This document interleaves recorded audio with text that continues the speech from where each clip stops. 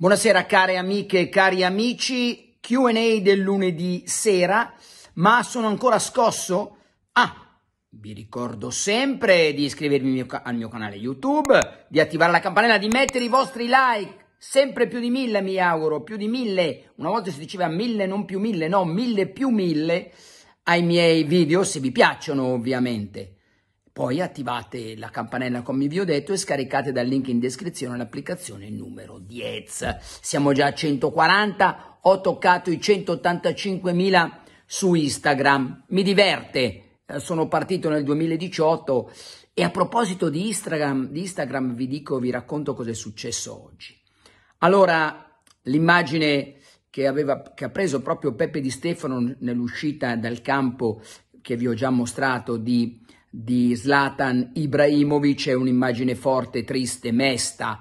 E da lì ho voluto dedicare un video sul mio profilo Instagram, andate a vederlo, e avevo deciso di mettere una canzone molto bella, una canzone composta, pensate, le parole sono di Alberto Sordi e la musica di Piero Piccioni, colonna sonora del film Fumo di Londra, siamo a metà degli anni 60, Breve Amore, cantato cantata la canzone da Mina ed era meraviglioso. Eh, vado, vi, vi vado a leggere le parole perché ve le leggo subito, è molto bella, eccola qua.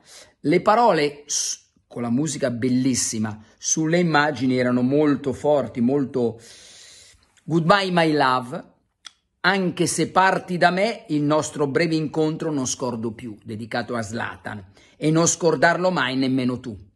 Meraviglioso tu sei per me, io penserò sempre a te e al nostro breve amore, alla felicità che se ritornerai, ritornerà. Bellissimo. Poi cosa succede? Instagram ha una lista di canzoni, un'enorme lista di canzoni, ma Breve Amore di Mina non c'è e quindi non si può mettere, non si può inserire sul sul video. Allora mi, sono, mi è venuta in mente un'altra canzone di Nancy Sinatra, la ricorderete dal film eh, Si vive solo due volte, un film di Jazz Bond, mio assoluto idolo.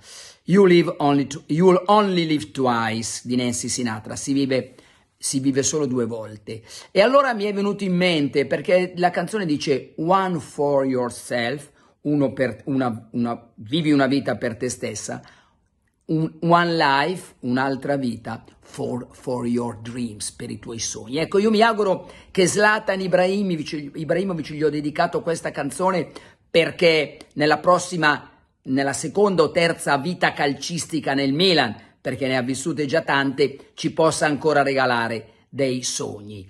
E volevo dirvelo perché è un video, a me piace mettere sempre le musiche belle, con i video belli.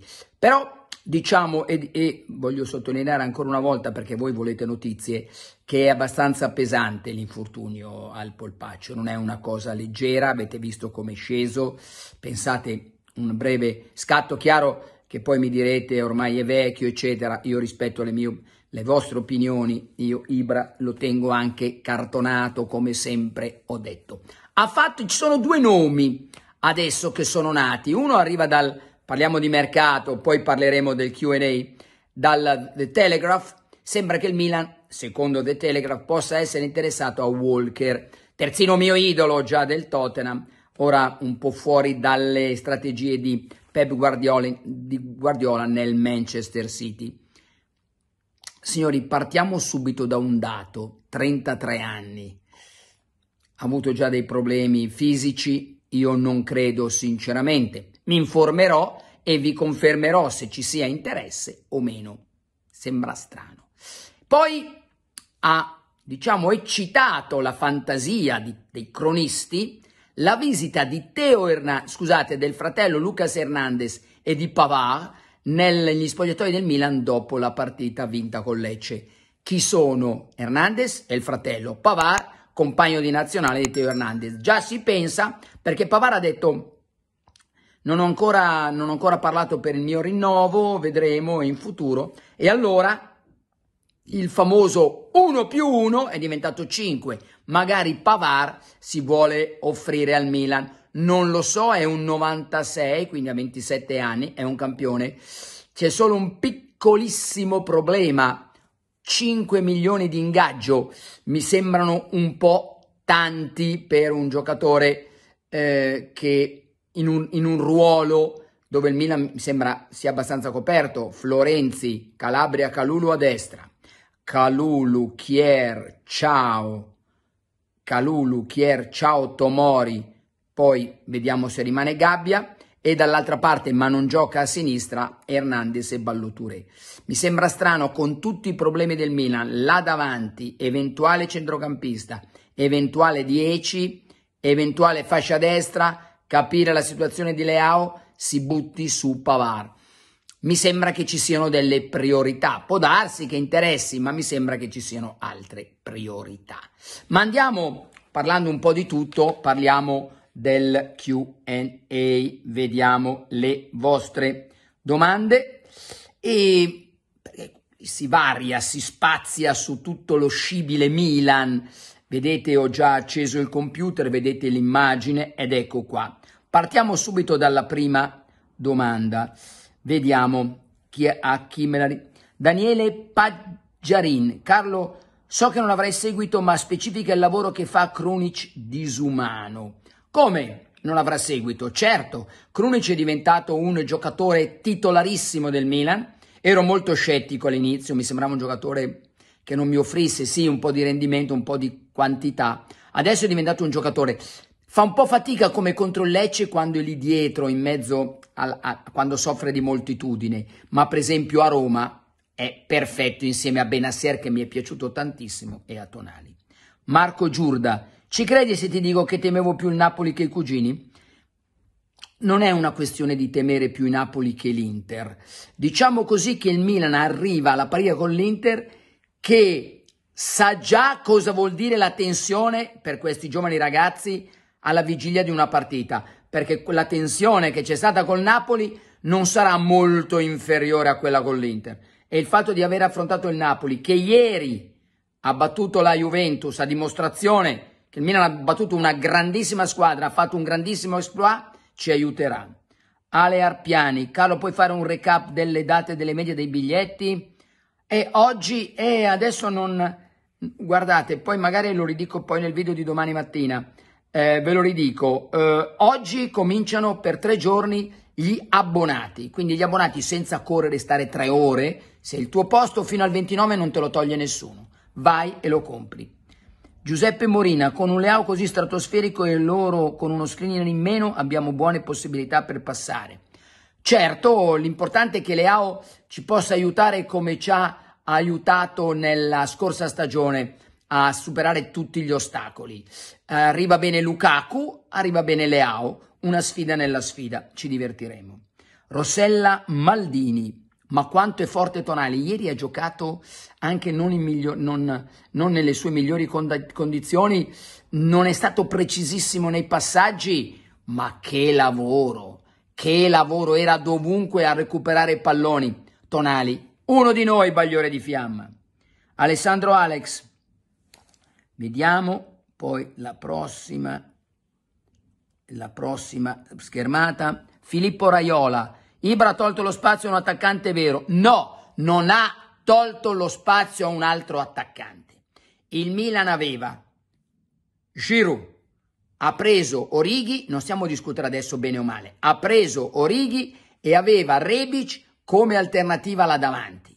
Poi anche Ibra che sapevamo sempre che potesse essere un, un'ulteriore alternativa, ma la presenza di Ibra non ha tolto nulla dal, dalla, dalla, da, dall'idea dei, dei, dirigenti del Milan di prendere gli attaccanti. No, non ha tolto nulla. Prince Mau, quale attaccante prenderesti per la prossima stagione? Io sono, impazzisco per Sinisterra sulle fasce e per Terem Moffi, Moffi là davanti. Samargi ti risulta nei radar del Milan? Non lo so, non, non, non, mi sembra, ma non lo so, veramente non lo so, mi informerò. Agatino Conti, ciao Carlo, volevo dirti perché non gioca ad lì. È una domanda che ci facciamo sempre. Non gioca ad lì, non so che cosa dirvi. L'abbiamo chiesto tante volte a Pioli, dice che li tiene tutti in considerazione, però Pioli ha tenuto fuori due mesi Pobega, poi l'ho inserito sempre. Eh, quando sarà il momento inserirà anche Adli, ma è di difficile collocazione, credo. Mike Montana, che ne pensi della voce su Ferran Torres? Può essere un possibile acquisto per estate? Sinceramente non so dove tu l'abbia sentita, non dubito che tu l'abbia sentita, ma non ho mai, non, non ho idea. Se l'avessi sentita vagamente, ma sono tanti nomi che escono. Secondo lei la battiamo la seconda squadra di Milano in Champions? E lo spero, lo spero proprio. Stefanino Forza Milan, vecchio cuore. Oh, Colardo 83, vergognoso vedere non passare la palla CDK solo perché sanno che è superiori a tutti. Ma la domanda, Colardo 83, è questa. Per quale motivo, se tu hai un grande campione, non devi passargli la palla che ti aiuta a vincere e diventare una leggenda? Mi sembra puro autolesionismo. Eh, forse si riferiscono a, Rebic che ha tentato invece di passarla, ma mi sembra una cosa controproducente. Nanni Cal, mi sembra che con il centrocampo a tre la squadra sia più ordinata, sei d'accordo? Molto d'accordo, molto d'accordo. Ieri ha provato a mettere Diaz perché mettere lì Benasser avrebbe magari mh, mm, avrebbe avuto problemi nel, nello stretto, però è cambiato poco. Carissimo Carlo Ghidelli, voglio chiederti perché ci sono sempre tire molla a go-go su firme, acquisti e cessioni. Perché il Milan va avanti con calma. Per quello che riguarda i rinnovi, eh, non non, non, dipende anche da, da, chi deve essere rinnovato come Leao. Per quello che riguarda invece eh, gli acquisti, adesso va bene pianificare avere un'idea. Non sai se rimane Leao, non sai se vendi Leao, non sai se arrivi fra le prime quattro, non sai se arrivi in finale in Champions. Adesso come fai a muoverti sul mercato? Davide Longo, quando si decidono a rinnovare il giocatore senza il quale saremo da mezza classifica, e lo aspettiamo tutti sul mezza classifica, magari un po' esagerato, però indubbiamente saremo mezza classifica come i grandi campioni del magari il Napoli sarebbe mezza classifica senza Osimen e senza Kvara. È chiaro che questi campioni ti aiutano, ma tutte le squadre senza i loro campioni sarebbero mezza classifica. Dovrebbe continuare a giocare Ibra? Sarò cieco? Sarò criticato? Sì. È sono non, non sono obiettivo però. Alba Gubra, c'è una sola domanda, quando rinnova di Leao? Non lo so, è caotico la situazione. Mi hanno, mi hanno accusato giustamente di aver detto che era nell'uovo di Pasqua, perché avevano mi avevano detto che la Pasqua potrebbe essere, adesso non mi sbilancio più, avete ragione. Secondo te Leao può vincere il pallone d'oro, Gheghi? Se, se, se rimane in un Milan vincente, sì. Ricky Mazza, sei d'accordo il, sul fatto che Leao è tra i primi attac- 5 attaccanti d'Europa?